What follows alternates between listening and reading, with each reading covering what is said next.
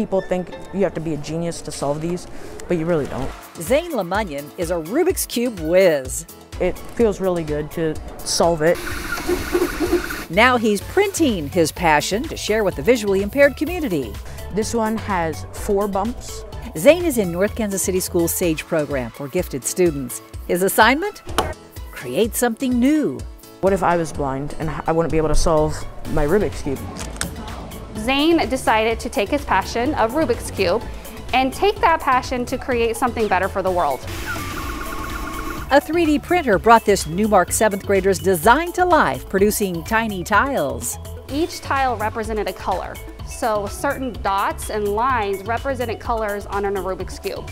And then once they were 3D printed, he took them apart and hot glued them on top of an original Rubik's Cube. And he created?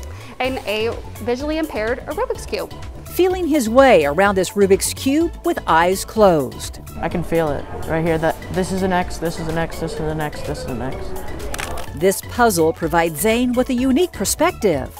It's definitely harder. He is now feeling that challenge of trying to close his eyes to solve something that he's so good at.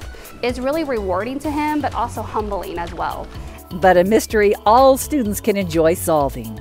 This is definitely something that is more inclusive. And so just being able to create something that will give students joy and give students access um, for all, for everybody, right? So they can all have something in common is really neat and inspiring.